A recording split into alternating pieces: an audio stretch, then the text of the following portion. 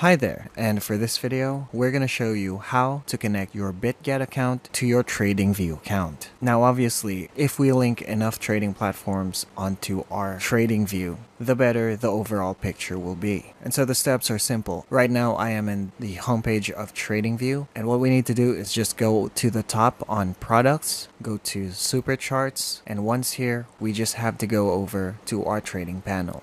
Now as you can see, I currently have my Bybit account connected to my TradingView. So what we have to do is to go just below this panel. Here you can see Bybit, click on that, see brokers list, go to all brokers, let's just scroll down and look for BitGet, click on that, and see here you might be wondering what an API key is, where to find this API key and the passphrase. What we have to do is to create this over at BitGet. So let's just quickly head over to BitGet, and this is the homepage. Just tap on your account over at the top right. Now all you have to do is scroll down a bit and you'll see it right here, API keys.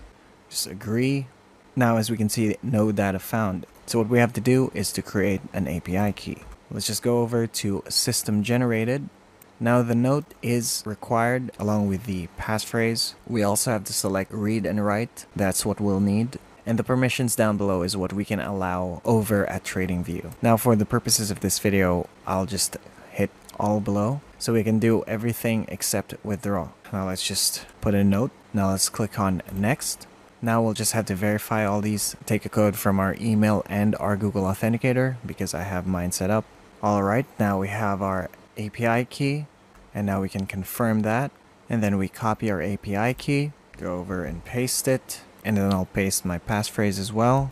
I hit connect.